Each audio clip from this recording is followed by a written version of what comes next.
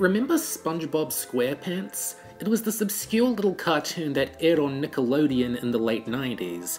Notable for its surreal humor, likable characters, and generating 11 digit profits on merchandising alone. This thing is a titan, and Nick has done its best to squeeze this little guy for all that he's worth. And that included making three feature films, one made out of heart, the other made out of humor, and the other made out of respect? Sponge on the Run isn't terrible, but it doesn't hold a candle to the first two. Fans are still arguing over which of those is the better movie. Might as well throw my hat into the ring on this one, so welcome to the showdown! Today I'll review the SpongeBob SquarePants movie, released in 2004, the one about Plankton stealing King Neptune's crown and SpongeBob and Patrick going on a buddy road trip to Shell City to retrieve it, and the SpongeBob movie Sponge Out of Water from 2015, where SpongeBob and Plankton are at first on the run, give me that title, then they and the others come out of the water. Both, in my opinion, are 4 out of 5 comedy movies. The plots are loosey-goosey, but the comedy stays sharp, and the spirit they're going for never dims. They also both come at major turning points for the franchise, with the first movie seeing a mass exodus of original crew members from the first three seasons, including the late creator Stephen Hillenburg and original creative director Derek Drymon. The second movie was released during the ninth season of the show, and saw the return of a couple early crew members, including Hillenburg and Drymon, and saw a revitalization of the program for that and many other reasons. Both have done more good than harm to the franchise at the very least, but which of them do I like more?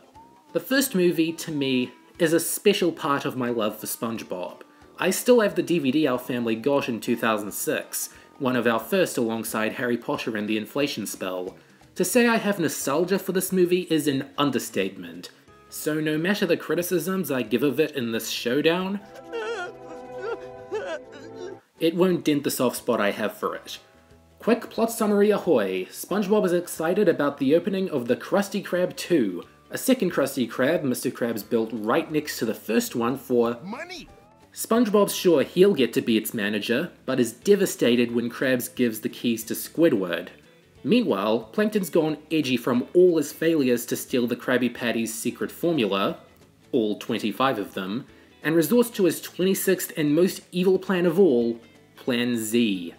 Steal the crown of King Neptune the 15th, sell it to the dreaded Shell City, frame Mr. Krabs, and hire a bloodthirsty hitman to take care of SpongeBob and Patrick, who have taken it upon themselves to retrieve the crown from Shell City and prove that they're men. Quite the SpongeBob movie, and quite the end to the series, as Stephen Hillenburg wanted it to be the grand finale, or at least the last canon adventure. And looking at it from that perspective, this silly cartoon about a silly, carefree sponge boy bowing out with a coming-of-age action-adventure is pretty funny.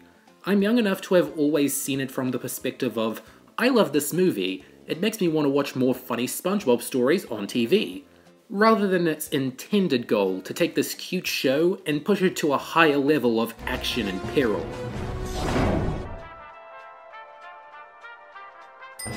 What impresses me is how naturally they made this direction seem. The show had always dabbled in horror and suspense once in a while, but now it was time for it to go all out. A gritty, testosterone filled bar in a sunken ship, a valley of bones and a monster infested trench, and the first time since the third episode that you really feel like SpongeBob and Patrick could die. I like this story a lot. Sure, it's pretty bizarre at points, never staying the same kind of movie for too long, but there's a lot of variety here.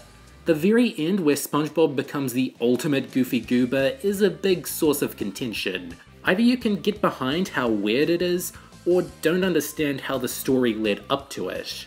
I mean, it's comedy, not everything deserves a hard explanation, but I can kind of see this as SpongeBob unleashing his inner child to eradicate all the gritty vibes that had piled onto the movie.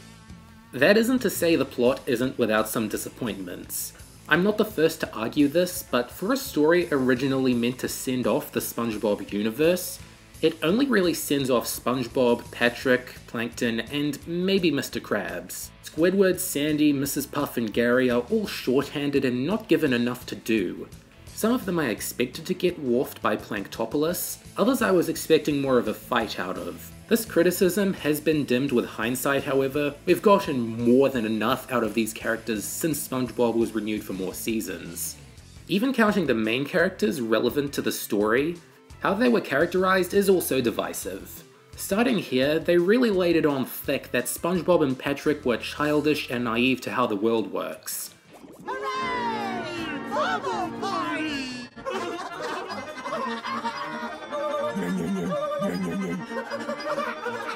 Sure, they had to learn something for the story to have any weight, but it's another thing you start to notice against the later seasons, where their maturity varies considerably depending on the writer. I've seen some complaints over Plankton being way too evil in this movie, and I get it kind of makes some of his character development on the show seem like it was for naught, but come on, this is the end of the timeline. I can buy him being jaded and cold, like his marriage to Karen. Plus, although they never interact on screen, his hitman Dennis is an amazing extension of this attitude, seeming calm at first but slowly turning into a monster. If there's anyone to complain about, it's the new King Neptune. I still don't get why they didn't just use the Neptune from the show. John O'Hurley is already a big name, so no need to get Jeffrey Tambor and completely redesign the character and his lore. We did get Princess Mindy out of this, played by Scarlett Johansson, so there's a bit of silver lining, but the movie Neptune leaves me disappointed, especially since they didn't use him in the show. Funny story about that. Because SpongeBob's a Nickelodeon production, and the movies are Paramount productions, there was a firewall preventing them from using movie assets, like the movie characters and most Goofy Goober iconography, that was only lifted in 2014. To be fair, they did help give the movie its own distinct visual identity, and a good thing too. Being one of the last 2D animated releases to command serious attention, it delivered some really fluid animation and gorgeous design work, a lot of which is downright iconic now. And for as jumpy as the story is, it's undeniable they had a lot of fun with every nook and cranny of it. From Goofy Goobers, to the Thug Tug, to Shell City, to Planktopolis. I should also point out the live action material that takes up a good portion of the film. The framing device of live action pirates, still existing in 2004, going to see the movie is pretty funny. It harkens back to the title sequence in Patchy Segments 2, but puts its own spin on it. As a whole, there aren't too many references to older episodes, you have to look long and hard for the few they throw in. Not to mention, the soundtrack is a delight. Music wasn't their top priority, but they went all in with songs like Now That We're Men and Just a Kid, Ocean Man by Ween closing it out is both the icing on the cake and the tip of the iceberg. The movie's biggest draw is the comedy, no surprise there. But they went all in, every scene has an iconic bit. With any comedy movie, it's important to keep people laughing, or at least amused, with as much of the movie as you can. And SpongeBob had covered so many stories and situations that it knew how to make anything they wanted funny. To be clear, not all of them are winners, but the scenes are so dense that even if there is a lame joke or two, it's not going to drag everything down. As with anything SpongeBob, a lot of the jokes are iconic, sure, but I imagine if you're getting bored with the big ones, you can always scour it to find something amazing that you forgot about last time.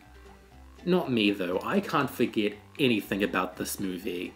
It's no cinematic masterpiece, but as a cartoon movie for kids and SpongeBob fans, it's a dang good time for anyone.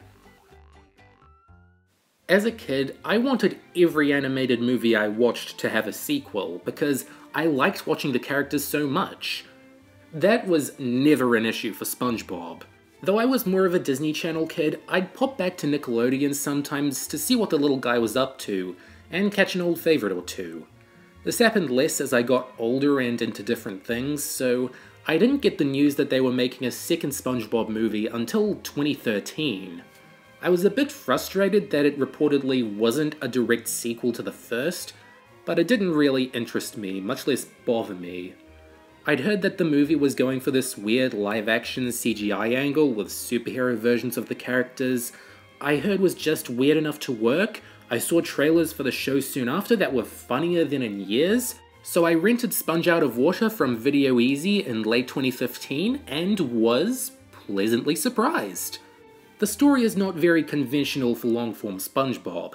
It starts with Burger Beard the pirate, played by Antonio Banderas, heading to the Bikini Bottom Island to attain a valuable treasure, SpongeBob fanfiction. A story about the characters begins, a routine one about Plankton trying to capture the formula, with a wartime theme for some reason, but as the story unfolds, something strange happens. At a point where SpongeBob and Plankton are fighting over the formula bottle, it vanishes mysteriously. Wait a minute. Molecular deconstruction? I proved that to be a scientific impossibility seven times. Wait a minute. I think I forgot to empty Gary's litter box today. And not only that, but all the Krabby Patties have gone too. And without them, Bikini Bottom goes into chaos. Welcome to the apocalypse, Mr. Squidward.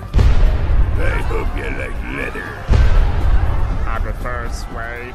SpongeBob's the only one who knows for a fact that Plankton's innocent, so they team up and try to get it back.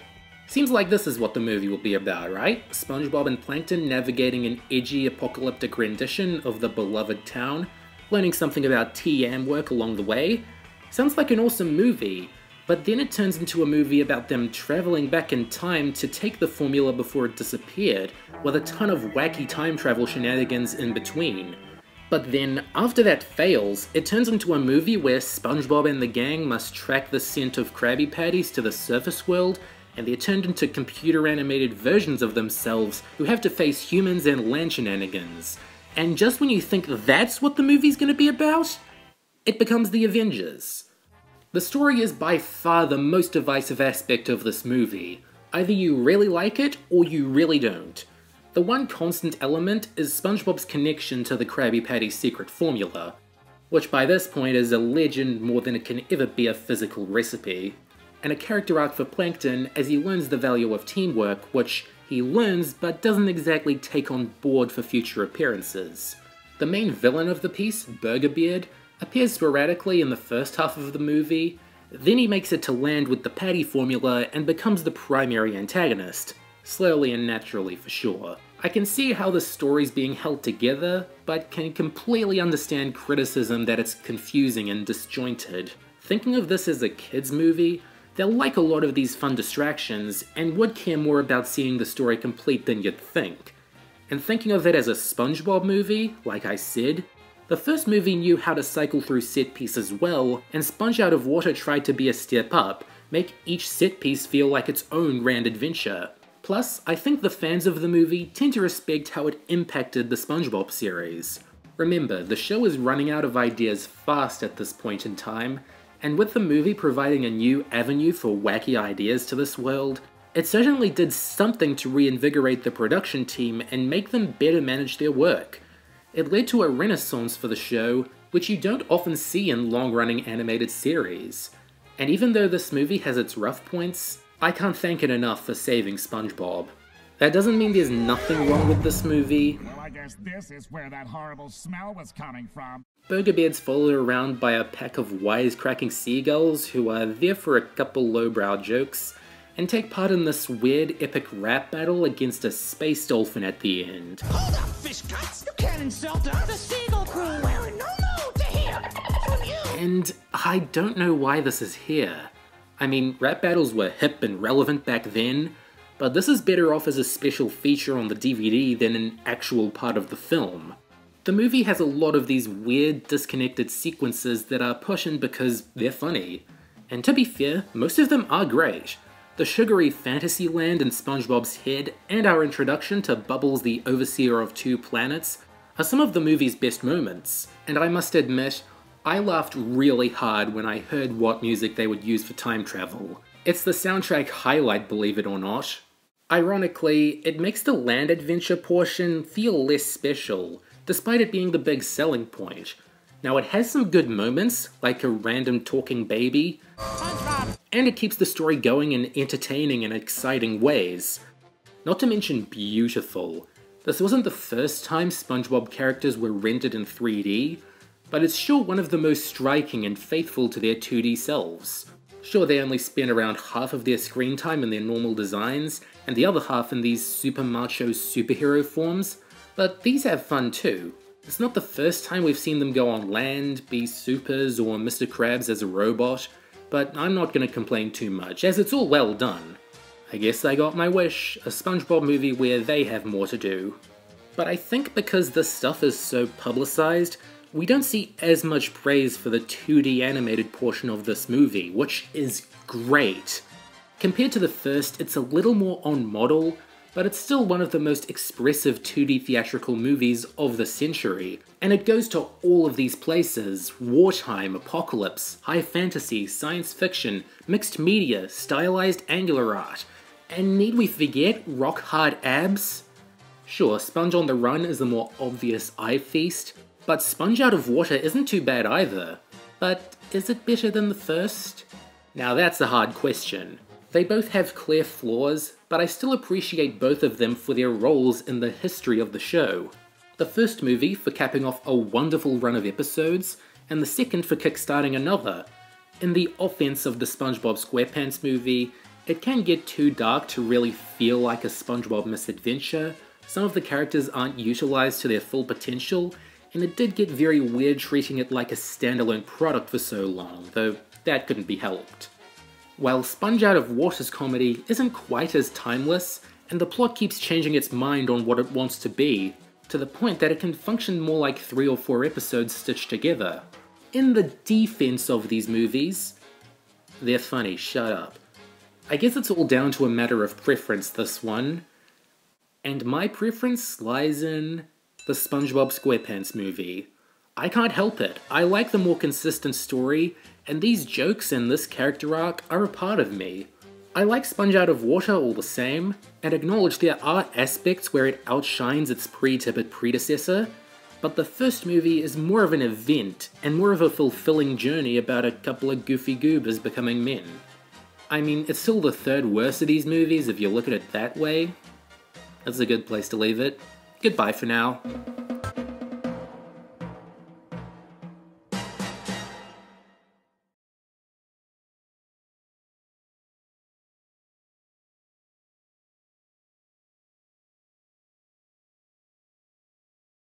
You're still here?